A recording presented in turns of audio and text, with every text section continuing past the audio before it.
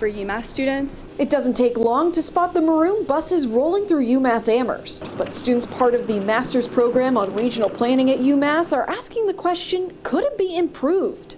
The survey will give us input about where um, routes that could be added, or um, ex- for example, like express routes that could be added, locations that could be served that aren't being served. The survey is open to anyone who lives in Hampden and Hampshire counties. It's funded through the Federal Transit Administration's HOPE grant, which is aimed at improving transportation access to rural areas. We're definitely trying to um, help people with equity and access to the PVTA system and more modes of transportation for people within the valley. Students are hoping this could guide the PVTA as they set themselves up for the next 20 years. But this is also an opportunity for them to gain on the job experience. Transportation is helpful for all aspects of planning. Uh, people have to get to where they need to go.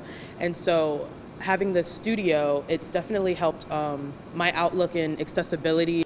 The survey will run at least through the end of the year. If you would like to fill it out, we'll have a link on our website, wwlp.com. Working for you live from the Hampshire County Bureau in Northampton. Kate Wilkinson, 22 News.